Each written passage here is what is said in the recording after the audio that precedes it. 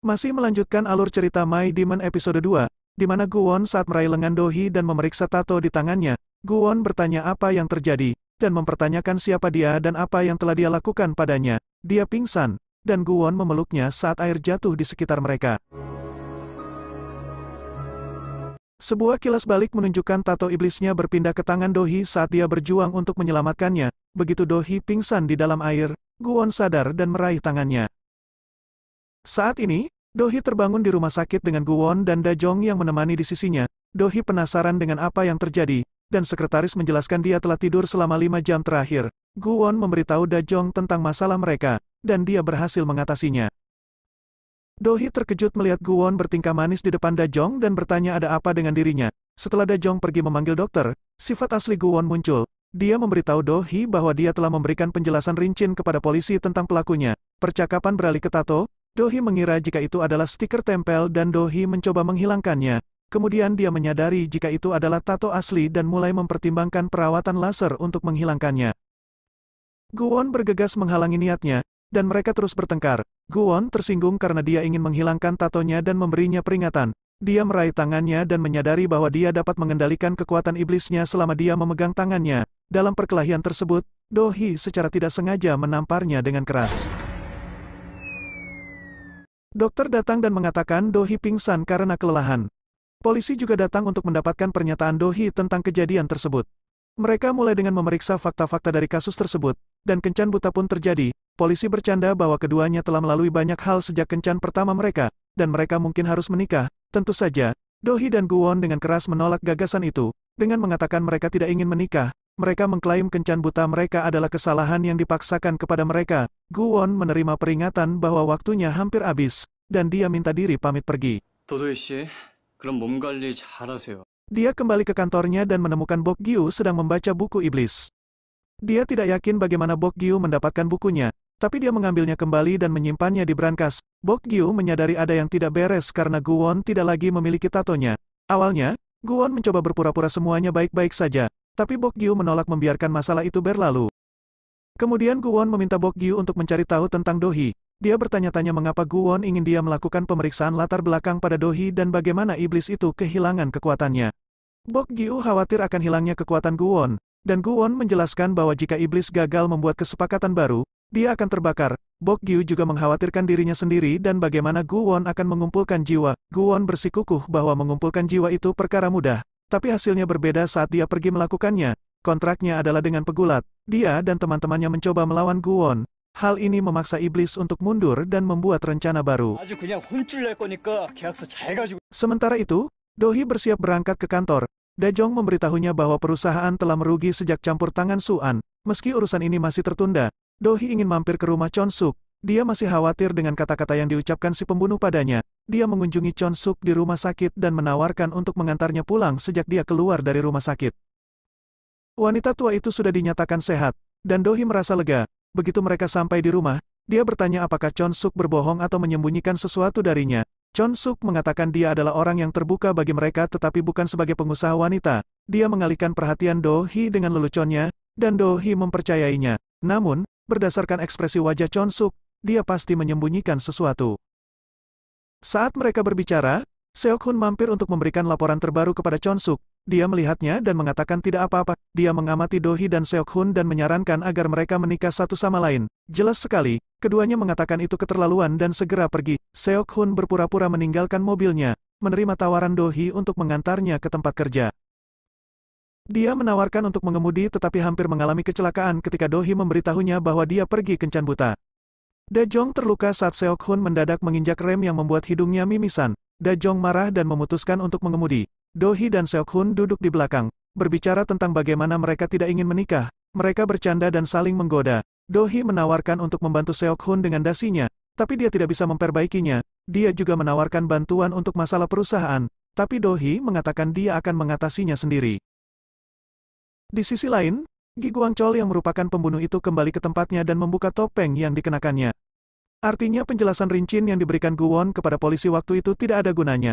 Ruangan itu dipenuhi dengan identitas palsu dan para foto korbannya. Dia juga memasang foto Dohi di dindingnya. Pemilik rumah mampir untuk memeriksa apakah semuanya baik-baik saja dan terpikat masuk. Melalui percakapan mereka, kita mengetahui bahwa Guang Chol berpura-pura menjadi aktor yang bekerja di studio. Pemilik rumah kemungkinan besar terbunuh begitu dia masuk ke dalam rumah. Pada saat yang sama, Guwon mencoba membaca buku panduan iblisnya dan tidak menemukan apa pun tentang pemindahan tato. Dia menelepon Bok Gyu untuk mendapatkan kabar terbaru tentang Dohi. Bok Gyu telah melakukan pemeriksaan latar belakang dan memberi atasannya semua informasi tentang Dohi. Dohi dikenal cerdas namun dingin. Dia dianggap sebagai putri grup Mirae dan telah bekerja keras untuk memulai perusahaannya dari awal. Orang tuanya meninggal saat dia berusia 11 tahun, dan Chon Suk mengasuhnya. Setelah mendengar ini, Guwon memutuskan untuk memikat hati Dohi untuk mendapatkan kekuatannya kembali. Belakangan, Gayong mengetahui bahwa Guwon kehilangan kekuatannya karena seorang wanita. Mendengar hal ini, Gayong kehilangan kesabaran. Bok Gyu percaya, jika Guwon bisa memikat hati Dohi, karena dia berhasil menipu Bok Gyu dalam dua masa kehidupan, Bok Gyu mengingat kehidupan masa lalunya dan mengetahui seperti apa neraka itu. Sementara itu, Dohi mampir ke kantor dan mencoba mencari solusi atas masalah perusahaannya. Sejauh ini, bantahan dan upaya hukum mereka terhadap informasi palsu tersebut belum membuahkan hasil. Melihat hal ini, Dohi memutuskan untuk mengambil pendekatan berbeda. Dajong khawatir dengan insiden percobaan pembunuhan dan meminta maaf kepada Dohi karena waktu insiden itu dia tidak menemaninya. Dohi mengatakan itu bukan salahnya. Dohi mengambil tindakan terhadap Suan dengan mengancam akan mengungkap perselingkuhannya yang tersembunyi jika dia gagal menghapus artikel tersebut. Dohi dengan jelas mengatakan dia tidak ingin diganggu dan bersedia melawan. Suan marah tetapi tidak punya pilihan selain menelepon jurnalis tersebut dan membayarnya untuk menghapus artikel tersebut dan meminta maaf kepada publik. Sementara itu, Chon Suk pergi ke ruang pengakuan dosa untuk memohon pengampunan. Pastor mendesaknya untuk mengakui kebenaran, namun dia belum siap akan itu. Dalam kilas balik, kita melihat dia berdiri di dekat mobil ketika mobil itu meledak, dan lututnya sakit. Tidak jelas apakah dia terlibat dalam kematian orang tua Dohi dan mengapa dia berdiri di dekat mobil itu. Setelah menangani Suan, Dohi setuju untuk bertemu dengan Guwon, dan dia mengaku mengalami masalah setelah kejadian terakhir. Dohi menawarkan untuk membayarnya, tapi dia menolak uangnya, dia bilang dia menjadi lesu dan membutuhkan bantuannya, dia memintanya untuk bergabung dengannya untuk berkendara, dia kemudian menggunakannya untuk menyingkirkan pegulat itu, dia memanfaatkan fakta bahwa dia masih bisa menggunakan kekuatannya saat memegang tangan bertato miliknya.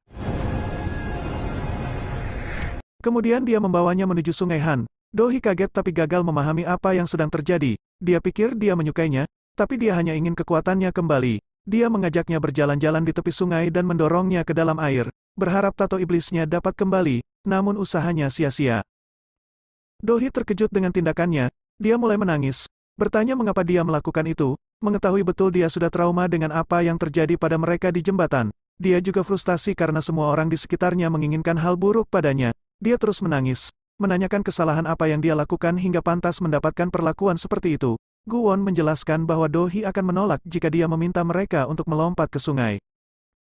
Guwon menyesal setelah tindakannya, dan dia melemparkan uang ke wajahnya, mengatakan bahwa dia tidak lagi berhutang padanya dan berjalan pergi. Bok Gyu mengamati interaksi ini, dan begitu Dohi pergi, Bok Gyu meledek Guwon karena bukannya memikat hatinya tapi malah mengajak berenang. Namun, Guwon frustasi karena kekuatannya belum kembali. Dia pikir ini adalah cara yang pasti untuk mendapatkan kembali tatonya. Sementara itu, Gayong berlatih tarian pedangnya, menyalurkan kemarahannya pada Dohi. Adegan itu disela dengan si pembunuh yang mengantarkan handphone ke orang lain. Suan kehilangan kesabarannya saat dia membersihkan kekacauan yang dia buat, dan Seok Hun, dengan aneh melihat dasi yang coba Dohi perbaiki untuknya. Di sisi lain, dalam perjalanan pulang Dohi menyeberang jalan, dan seseorang mencoba menuangkan cairan asam padanya. Syukurlah, Guwon sekali lagi cepat menyelamatkannya meski dia terluka. Tindakannya yang cepat melindungi Do Hee, menceritakan bagaimana kehadirannya dalam hidupnya mengubah segalanya.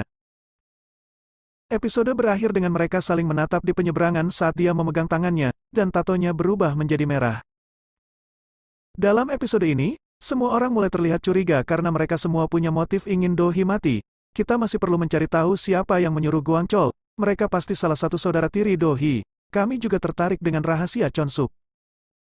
Saat kita mempelajari lebih lanjut tentang karakter yang berbeda, Gayong tampil sebagai seseorang yang harus diwaspadai. Tekadnya untuk membuat Guwon menyukainya sungguh menakutkan. Dia mencari Dohi dan tampaknya sangat membenci Putri Mirai karena berhubungan dengan Guwon.